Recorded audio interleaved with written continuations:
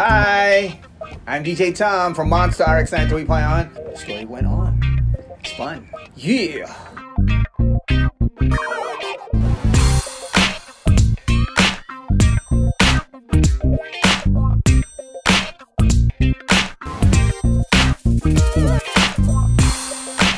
Hi, I'm DJ Tom from Wild and Wicked Snack and Remix Fridays. I was the youngest DJ that got in there during that batch.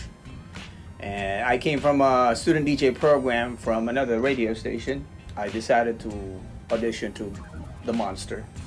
I was given uh, tips. Oh, there's gonna be an opening in RX. You want to try it out? So I tried it out. Uh, luckily, I got in. Oh yeah, when I when I auditioned here, I had a an interview with uh, Louis D, our program director. Since I had training as a student DJ with another radio station, I was asked to board ASAP for one hour, and they heard me. They, I was after boarding for an hour. They gave me, okay, you can board two hours, and then no, you can board four hours, and then uh, eventually I got in, became part of the team, and uh, the story went on. It's fun.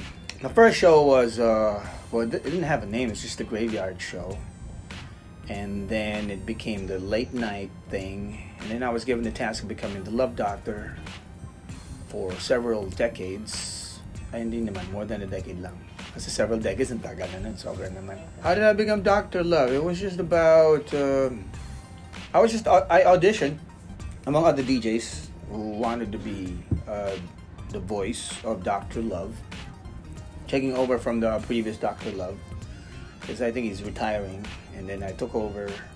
I I took I got the part, and then and that's how it is. I became the representative of my generation. I became the the, the kuya of people who have love problems. They would call in.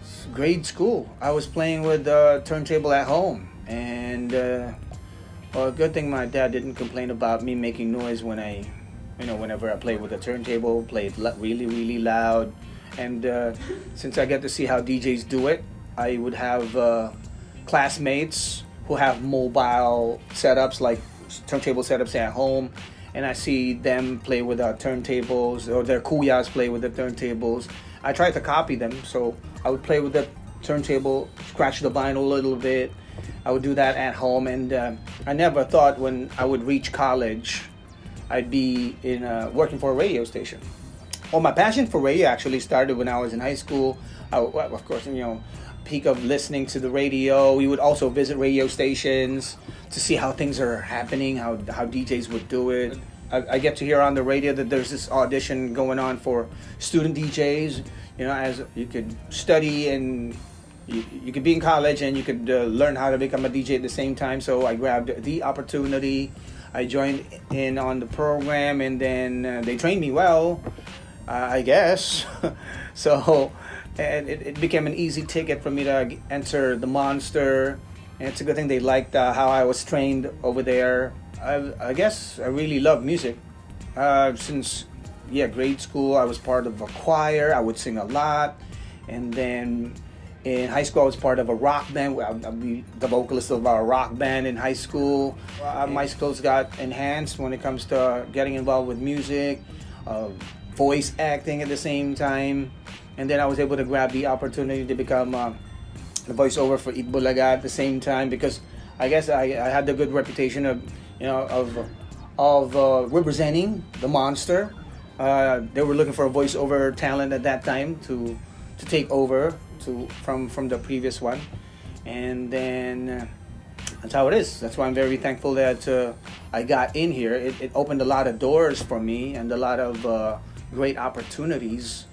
Plus, uh, those amazing trips with the monster out of the country. My first trips out of the country are because of the monster, or should I say, the golden era of uh, the monster in the 90s and then it continued on right right until now we're still evolving adjusting to uh, new technology to the times to, with with new audience members with with the uh, with the successors of uh, those cool titos and titas who are now, you know, having their pamankins or their kids listen to the monster. And it's great because, you know, new music always comes in every day, every week. It makes the job very interesting as always, it, doesn't stop there. I mean, it, it, continued on becoming as interesting because of uh, the new stuff you get to encounter, aside from the fact that you get to talk to um, celebs, music artists.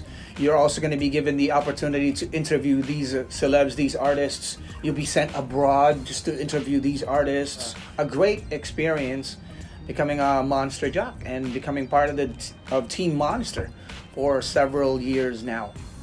Oh yeah, you know, I remember back in I was just when I was just a listener, I not yet a DJ. I would call, I would call the Monster and greet my friends on there, and it feels great.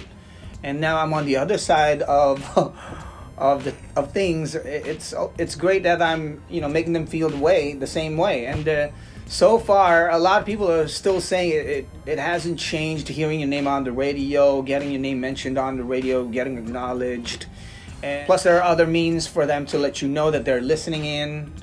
They're letting there. There are also ways for them to let you know what songs they want to hear. It's much easier for them now to interact with the DJs. Unlike before, it's you have to call a busy hotline to be able to get in touch with a DJ and to tell them, "Hey, I'm listening. Hey, I want to hear this song. Hey, I want to dedicate this song to my favorite girl, to my crush, something like that."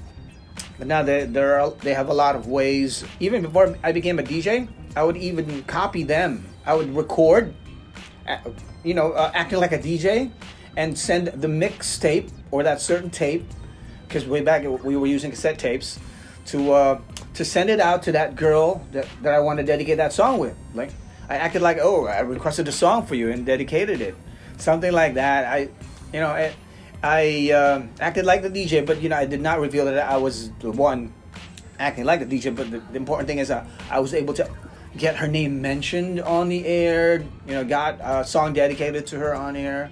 That's how it is. And even to my friends, I even tell them, "Oh, I greet you guys on it. and then I would be doing it like you know, I, I would do my, I would run my own radio show.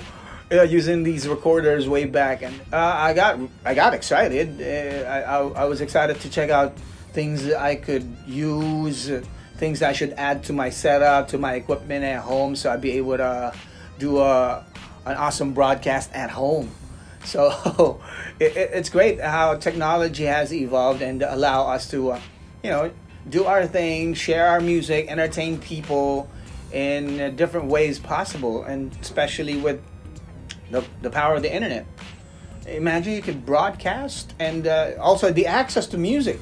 We have uh, access to many songs, a lot of songs that uh, we want to dedicate, we want to play to our audience, to our listeners. Uh, I, also, I also had the opportunity to be a club DJ for a certain period of my life while being a DJ here on the Monster. Of course, you know, having that reputation of being a Monster DJ, just like what I said earlier, uh, it opens up a lot of great opportunities. I was invited to play in clubs. Can you be our Friday DJ? Can you be our Saturday DJ? So I was able to experience that kind of privilege of being able to, oh, I can actually have all the drinks I want for the night. I can even bring my friends and have them order their drinks for free for the night. So that's how it is, you know. Weekends or weeks became really, really quick around that time because I would be having my weekends uh, you know, to look forward to with, with, with partying all the time for free, right? It, it's a it's a great routine. I, I loved it a lot, and uh, and so far, hopefully, you know, we could go back to it after the pandemic. Uh, definitely, we're gonna go back to it. Oh yeah, thank you so much, Monsters, for the love and support for years and years of listening to the Monster. New music, new artists, plus new student DJs as well, where we share our knowledge of becoming uh, training with us on Radio One. Thanks so much for that. Plus. Uh, continue on sharing, liking, and uh, supporting us, following us in the world of social media. We are also there. Where hopefully next year we'll be celebrating our anniversary at, at a club at, at, an awesome venue, and uh, we'll be rubbing elbows again together.